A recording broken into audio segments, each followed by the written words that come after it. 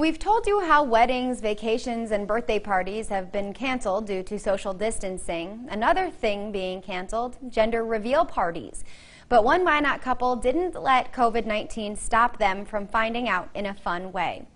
They used something they had on hand, lights. McKaylin and Andrew Heth used Trimlight.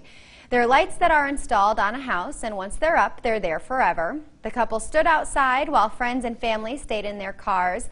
Blue and pink lights flashed alternately until it landed on the color pink. McKaylin's brother Eric Goodman co-owns Trimlight, and he says he's never seen something like this before. She didn't know what to do for a gender reveal, and she wanted to do one.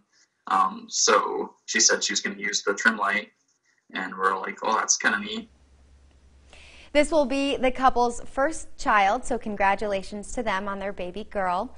People have also been putting up their Christmas lights during this pandemic to try and spread positivity and happiness, and I like the idea behind that.